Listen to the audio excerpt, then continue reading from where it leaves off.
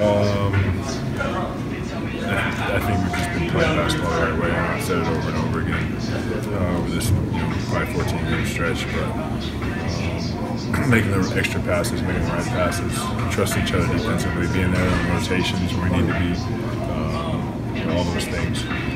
Whether you're hitting shots or not, those those things will keep you in a game.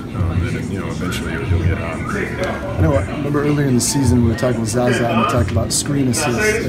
Maybe isn't something that people talk about a lot. But how important is that with your bigs being able to, set such high screens on the pick and roll, but just in general? Very. I think it was uh, after we played Indiana at Indiana right before the new year. Um, our coaches showed a lot of clips before we had practice. Um, and showed us, you know, not getting hits on screens, and they, they challenged our, our bigs. And the next night, I think we had 16 screen assists against Orlando.